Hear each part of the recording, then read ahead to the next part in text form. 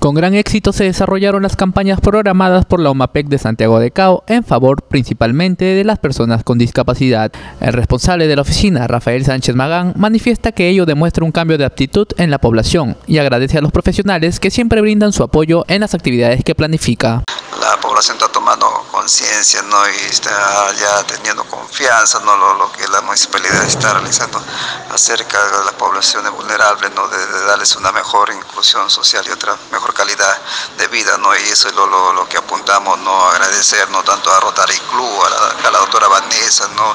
y al técnico, ¿no? al amigo Domingo Guayas, ¿no? y porque eso a mí me motiva, me motiva tanto, ¿no? ya que yo siempre los utilizo para esta campaña, ¿no? para que puedas así también ser una campaña accesible y ellos veo que tienen ese, don también, ese don de, accesibilidad hacia las personas con, más población que muy vulnerables, ¿no? porque acá tenemos personas con discapacidad personas también, adultos, ¿no? Y que darles un trato especial, ¿no? Y yo agradezco mucho, ¿no? Agradezco este equipo, este equipo a la cual se han unido, ¿no? A, aquí al área de Domape y sobre todo agradecer al alcalde, ¿no? Por, por esa, esa confianza, ¿no? Y al gerente de desarrollo, que me, me apoya, ¿no? Para poder realizar este tipo de, de campañas, ¿no? El jefe de la Oficina Municipal de Atención a las Personas con Discapacidad da a conocer que ya se están coordinando más campañas en beneficio de la comunidad con habilidades diferentes es el compromiso, no el compromiso tanto de nuestra municipalidad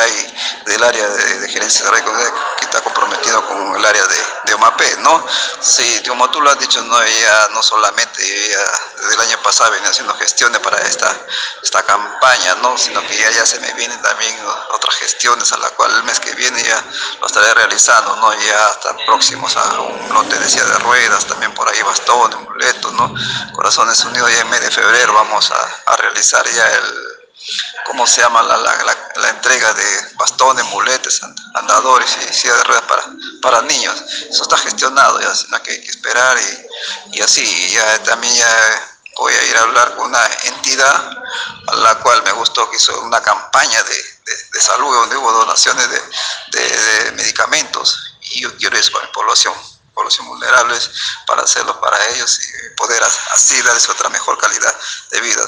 Se vienen muchos eventos, importantes a, a favor de ellos, ¿no?